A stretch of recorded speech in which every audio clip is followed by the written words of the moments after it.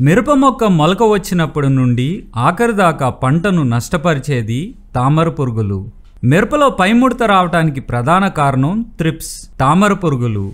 వాడుక భాషలో మనం పేను అని అంటాం. ఈ తామర పురుగులు ఆకు కింద భాగాన చేరి రసం పీల్చడం వలన ఆకులపై బొబ్బలు వచ్చి ఆకులు పైకి ముడిచిపోతాయి తామర పురుగులు ఉధృతి ఎక్కువ ఉన్నప్పుడు ఆకుల కింద భాగంలో ఇటుక రంగులోకి మారిపోతాయి. కాయల మీద చారలు వచ్చి వంకర్లు తిరుగుతాయి. పై ముడత ఎక్కువ ఉన్నప్పుడు మీరు వాడవలసిన మందులు ఫిప్రోనిల్ డైఫెన్థురాన్ స్పైనోట్రామ్ సయాంత్రనిలిప్రోల్ టోలిఫెన్పైరైడ్ బాగా పనిచేసిందని అదే మందును మాటిమాటికి కొట్టకూడదు.